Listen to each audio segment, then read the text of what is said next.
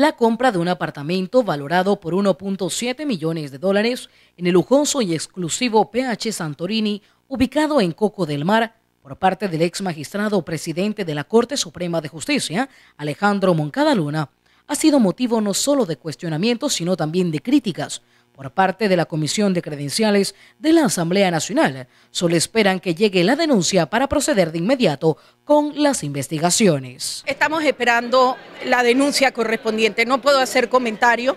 Eh, acuérdense que yo voy a ser una persona parte de la Comisión de Credenciales y vamos a investigar. Así que prefiero reservarme mi opinión hasta que nos llegue el expediente. ¿Sí será investigado este caso? Por supuesto. De esto proceder en esta comisión, la misma tendrá que convocar a una sesión judicial, que es totalmente distinta a una estrictamente legislativa. Sin embargo, por la falta de credibilidad, en otros casos y denuncias, algunos dejaron entrever la poca confianza que depositan en ella, como es el caso del abogado Miguel Antonio Bernal. Y hasta la fecha, todas las denuncias que se han presentado aquí en la Asamblea a lo largo de todos estos años contra los magistrados han sido rechazadas y las que se han presentado en la Corte Suprema de Justicia contra los diputados han sido rechazadas eh, por decenas de decenas. Así que aquí puede que estemos en una situación de no pasa nada. Sin embargo, de no entrar la denuncia por la Comisión de Credenciales, hay otras opciones, como una convocatoria por parte de la Corte Suprema de Justicia. Desde un principio estuvo mal cuando él se le designó de magistrado. Aquí se aplica el, aforismo anglosajón que dice que lo que comienza mal termina mal. Él había sido destituido como director de la PTJ por actos deshonestos. La Corte lo destituyó y el Código Judicial establece en su artículo octavo que nadie que haya cometido actos deshonestos puede ocupar puestos en el órgano judicial. Sin embargo, la Asamblea lo aprobó.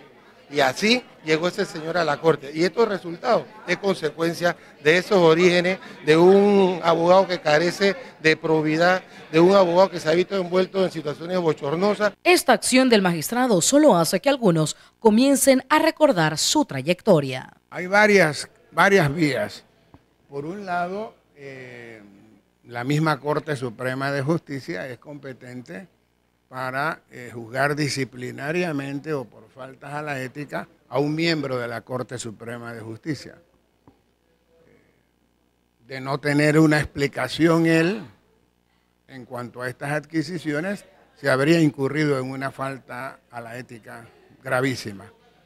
Por el otro lado, eh, también la Asamblea puede nombrar una comisión investigadora. Se trata de un hecho de importancia nacional, de carácter público, porque viene de un magistrado de la Corte Suprema de Justicia y la constitución política prevé la posibilidad de que la Asamblea nombre una comisión investigadora.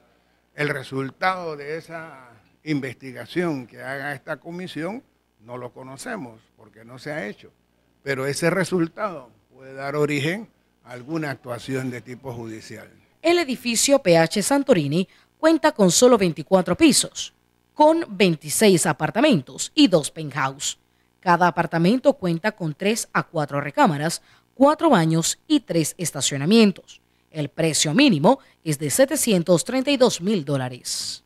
Y él tiene que explicar, y la, y la asamblea tiene que investigar de dónde salió ese millón punto siete para pagar esos faraónicos apartamentos porque ni con todo el salario que ha de vengar los cuatro años puede justificar esa compra millonaria.